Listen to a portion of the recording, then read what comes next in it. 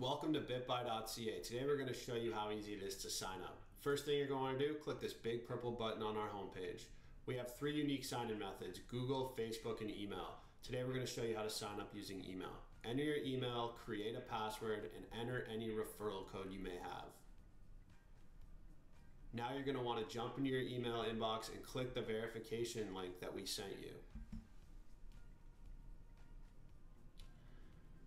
Now it's time to log back in and set up your two-factor authentication. You're gonna enter your cell phone number and we're gonna send you a text message with a verification code. Enter that verification code on the next screen and your phone will be set up for two-factor authentication.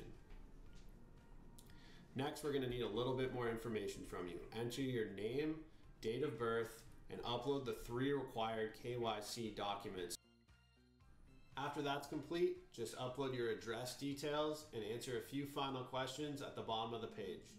Then click the request verification button.